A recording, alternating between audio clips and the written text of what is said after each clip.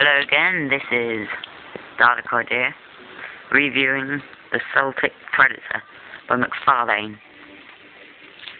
It has quite a few bits of articulation, ball joint arm, and then halfway down the arm this bit moves around like the hand goes around like the leg is articulated at the top, middle, there, and the foot moves a little bit.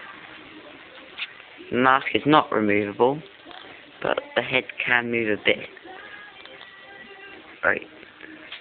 As you can see there, actually it doesn't seem to do it now, but whoa.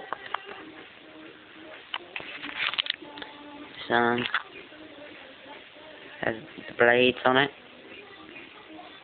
Moves like that. He has the plasma cannon on his back, which moves.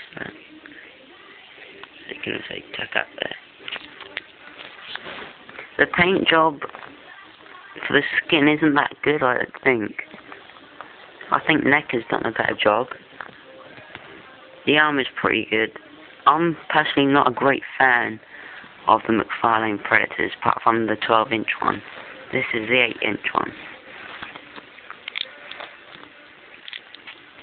I picked this up for around £12, I think, quite a while ago.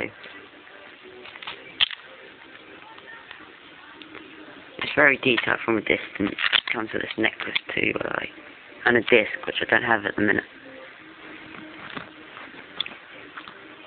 That's all I can mention, really.